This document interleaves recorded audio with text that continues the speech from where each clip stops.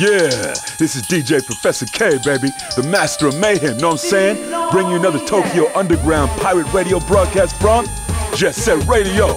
I'm gonna bust into your head through your cute little ears and blow your mind with my sexy voice and out of sight sounds. Those of you to nosebleeds should keep those tissues handy, suckers.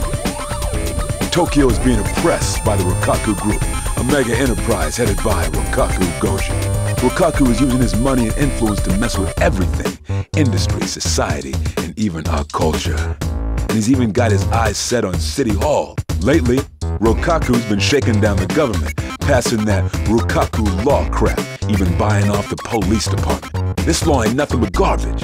It's just some selfish little punk's way of trying to show he's a big man. Rokkaku and his gang are trying to stomp out our culture left and right. They don't give a rip about our rights.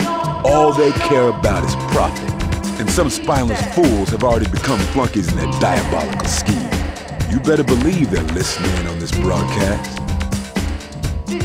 But even in all this heat, there's a group of young kids who've been tearing up the streets.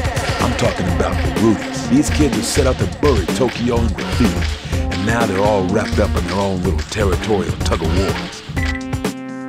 The hottest team at the moment is the GGs. There's Yo-Yo, a guy who blow your mind with silver tongue, and Gum, a real cool lady who leaves a trail of broken hearts wherever she goes. And let's not forget their leader, a self-styled genius that goes by the name of Corn. These three ain't your garden variety street punk. Know what I'm saying?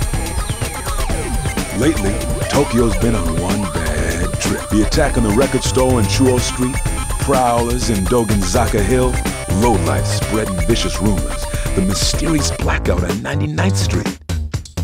And who should be following them around but the Rokkaku Group's watchdog, the Rokkaku Police? With the Rokkaku Expo just around the corner, the crackdowns are only getting tighter. My heart ain't pounded like this since since my first date. I was so nervous, know what I'm saying? I forgot to wear my underwear, baby. This ain't the time to be sitting around sipping afternoon tea. Game's gonna start soon, and y'all gonna be the one making the play.